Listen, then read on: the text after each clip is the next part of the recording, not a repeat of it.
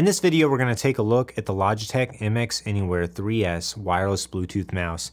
This is a fantastic mouse for people who are always on the go, but who really want to have a more ergonomic and comfortable mouse with several buttons that can be custom programmed as well. You get two buttons on the side that you access with your thumb, you get a clickable scroll button, and you also get a button below the scroll button.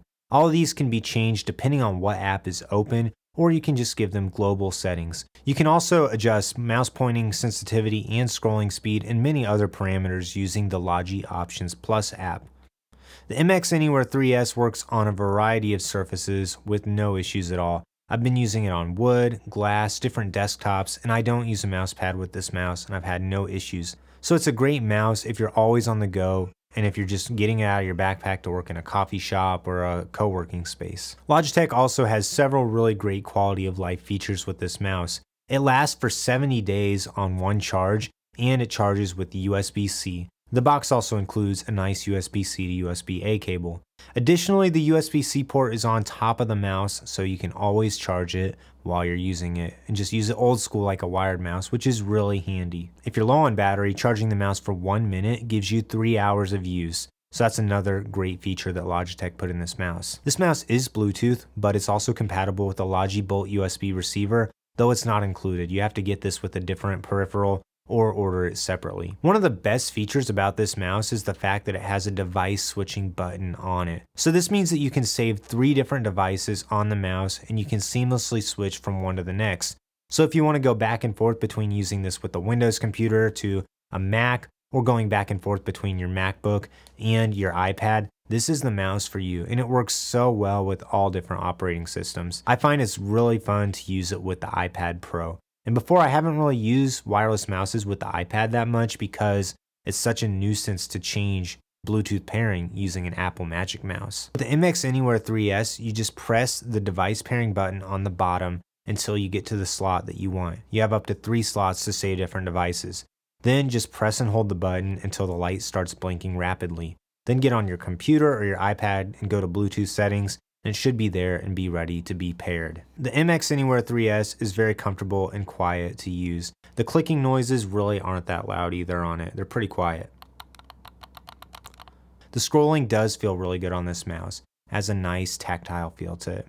By default, the mouse lets you change between a smooth or a clicky feeling scroll, and I find both of them are useful in different situations. The MX Anywhere 3S comes in black, graphite, pale gray, and rose. I got the mouse in black and I think it looks really great. It seems to be pretty resistant to fingerprints and smudges and it stays clean. It's got a nice flat matte look to it, which I really like.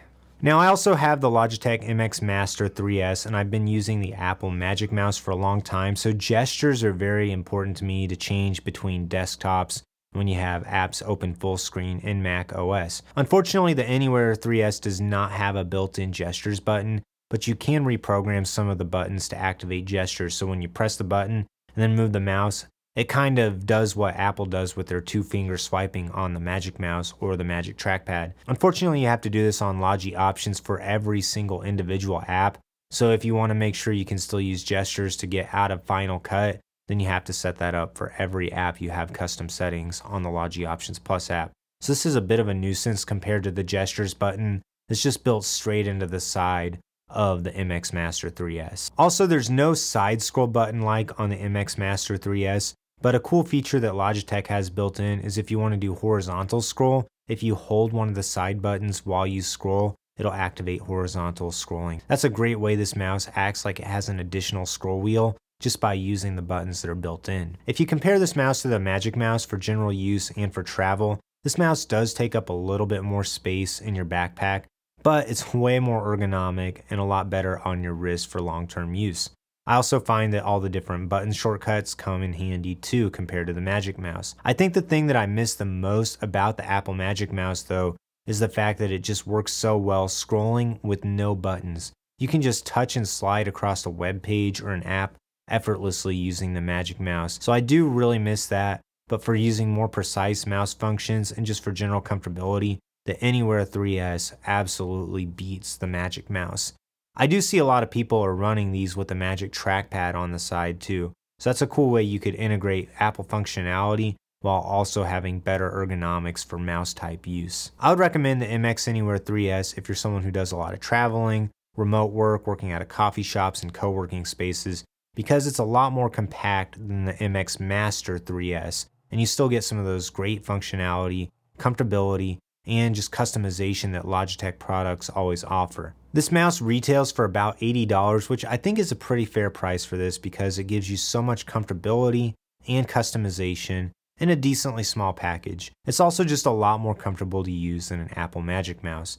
But overall, I really like the MX Anywhere 3S. I highly recommend it. And if you're interested in buying one, I have links in the description below. If you make a purchase with any of those links, it helps support the channel at no additional cost to you. If you have any other questions about the Logitech MX Anywhere 3S, leave a comment down below and I'll do my best to answer them. If you found value in this video, give it a like and subscribe to my channel so you don't miss any upcoming content.